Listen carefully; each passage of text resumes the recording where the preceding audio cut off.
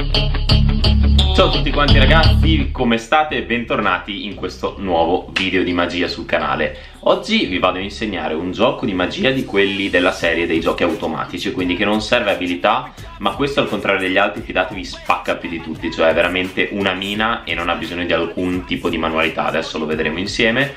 Vi volevo ricordare che questo fine settimana, cioè il 5-6 ottobre, sarò anch'io a raduno di ASOK, per cui, per cui sarà possibile appunto incontrarsi tutti quanti, fare magia tutti insieme. E oggi andremo a utilizzare il mazzo di Nint che ho aperto, devo dirvi che è spettacolare questo mazzo di carte, ragazzi. Vi lascio il link in descrizione se vi interessa acquistarlo, col codice SBARD avrete sempre il solito sconto. Vi ricordo prima di incominciare di seguirmi su Instagram come sempre, link in descrizione SBARD95. Non ci dilunghiamo per niente oggi e andiamo a imparare questo gioco, secondo me formidabile. Mi raccomando, lasciate tantissimi mi piace se volete che continui questa serie dei giochi automatici, però non quei giochi automatici che sono troppo basilari e magari quindi non piacciono, non, non rendono abbastanza. Di questi giochi che sono molto potenti ma altrettanto semplici. Fatemi sapere e niente, via col video ragazzi.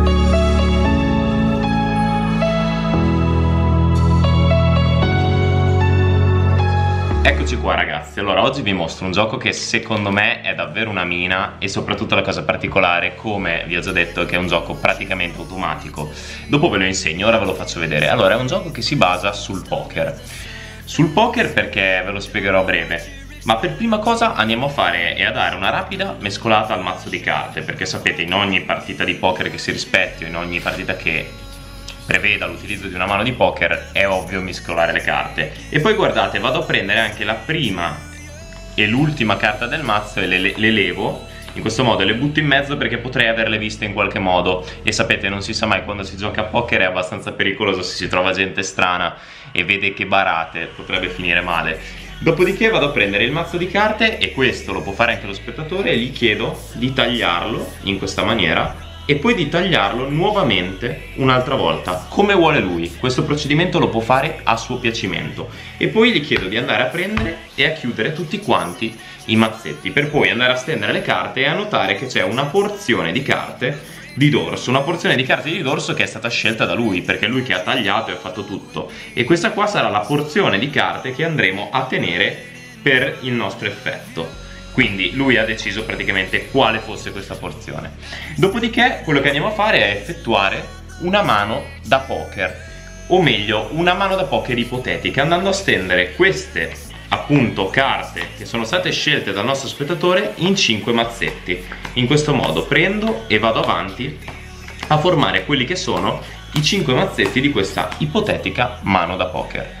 Ma sapete qual è la cosa assurda ragazzi? che se noi schiocchiamo le dita in questo modo e andiamo a controllare lo spettatore si troverà davanti ad un full ovvero tre assi e due re una mano davvero vincente.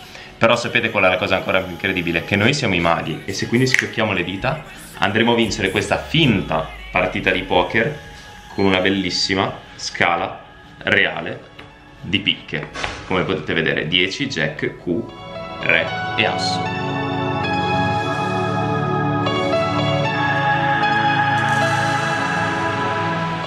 Ok ragazzi andiamo a imparare questo miracolo che come avete visto è davvero davvero d'effetto e richiede pochissima tecnica. E giusto una piccola preparazione semplicissima.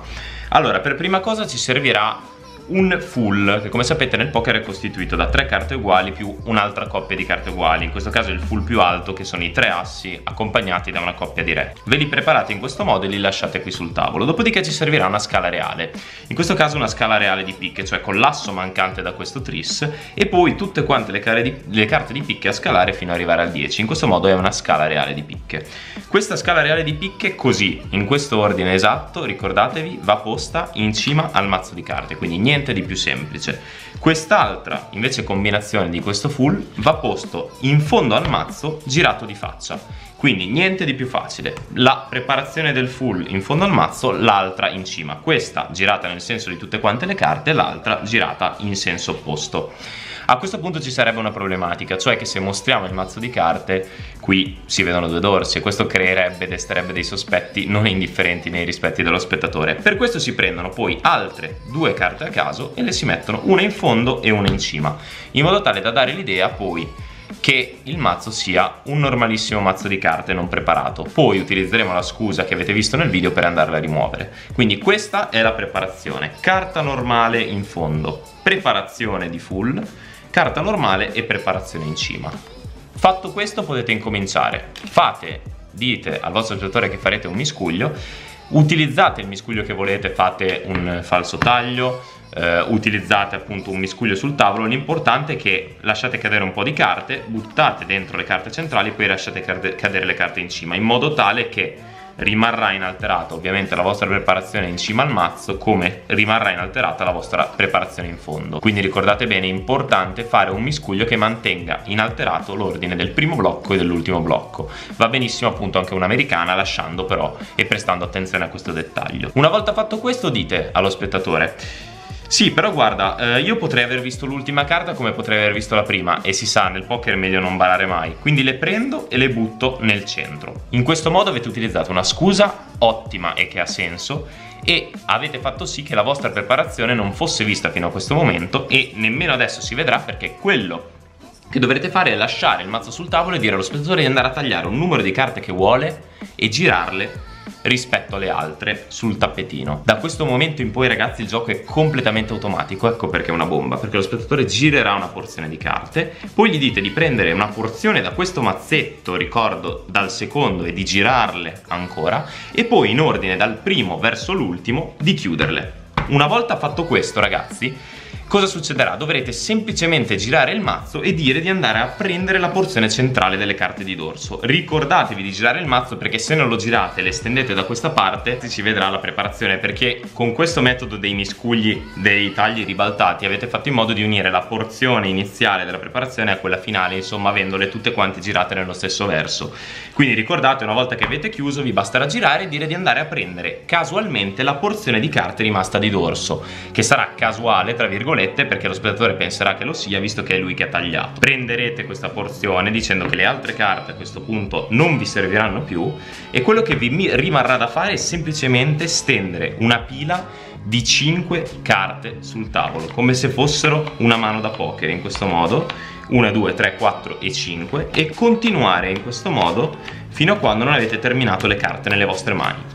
Seguite l'ordine e non preoccupatevi perché a questo punto vi basterà con la presentazione uno schiocco di dita, mostrare le carte e ritrovarvi con ovviamente il vostro full, cioè tris di assi con re e poi però con uno schiocco di dita ancora più magico girando queste carte vi ritroverete di fronte a una scala reale di picche, il punteggio maggiore che si può ottenere e di conseguenza la vittoria, tra virgolette. Ok ragazzi, io direi di non dilungarmi troppo perché come avete visto il gioco è semplicissimo, quindi vi basterà eseguire le istruzioni che vi ho dato e il gioco vi verrà in automatico. Spero che vi sia piaciuto lasciate tanti mi piace se volete altri video simili un gioco bomba che potete fare con una piccola preparazione e zero abilità quindi magari se siete agli inizi è perfetto. Fatemi sapere quindi se vi è piaciuto lasciate un commento fate quello che vi pare noi ci vediamo alla prossima con un prossimo video. Ciao ragazzi